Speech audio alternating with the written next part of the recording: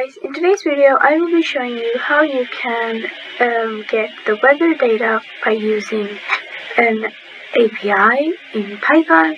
So the first step is that you have an API from this Open Weather Map website. So I will recommend you to sign in first if you don't already have an account.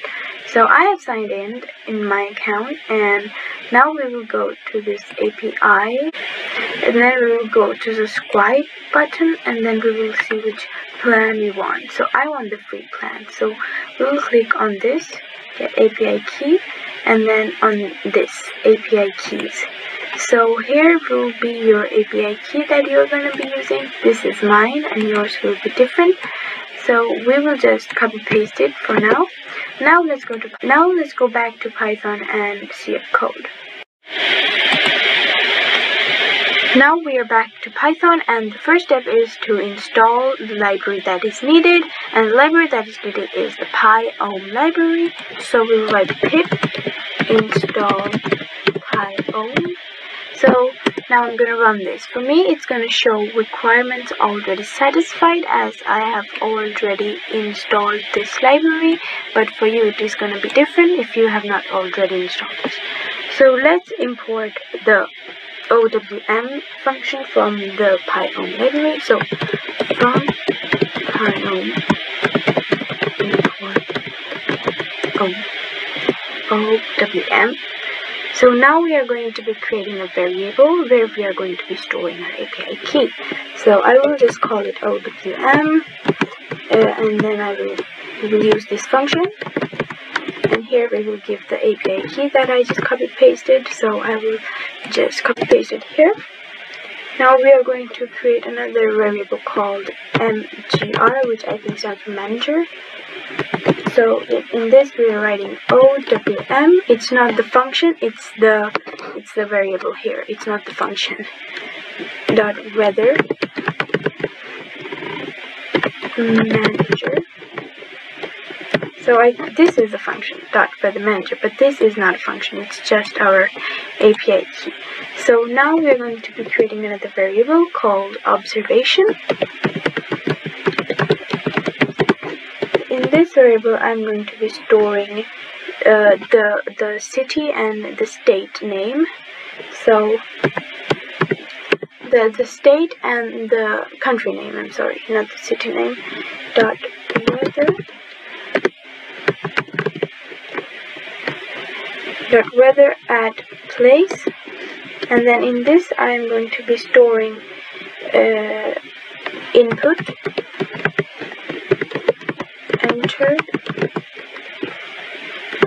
the city enter the city name and the country name So I will be um, writing my city or country so I can not get the weather of any city or country in the world. So now I will create another variable called W. In this I will store observation dot weather.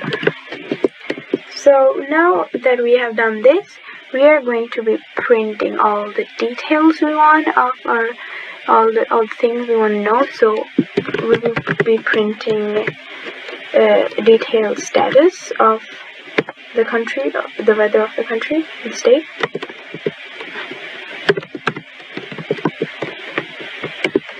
Then we will be printing the wind.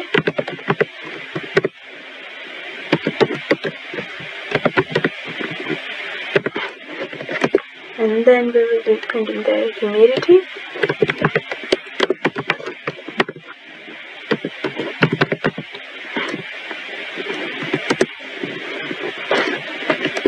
and then we will print the temperature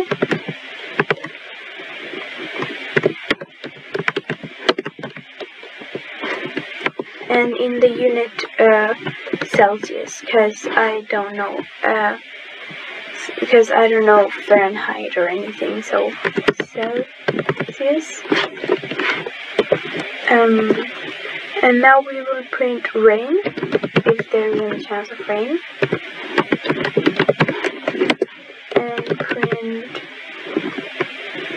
heat index.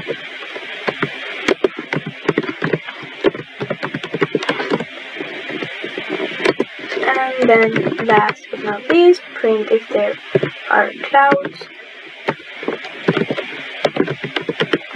So now when we have written all of this information, we will be running this program and if it runs right, it is first going to ask us the city and the country name and then it's going to give us all the details. So let's run this. Okay, so it is asking me the city and country name. Um, I want to know the weather of the city I'm living in. So Luleå in Sweden. So SE. Okay. So now I'm getting an error. Let's see what the error is. Uh, unable to find resources. Okay, so I saw what the error was. I was not giving a comma. So let me run it again. And now this time we will give a comma. So Luleå, comma SE Sweden. And now it is giving me the correct answer. So the detailed status is it's clear sky, the wind is this much, the humidity is this much, the temperature is this much, rain is, I guess, none, and heat is none, and clouds are none.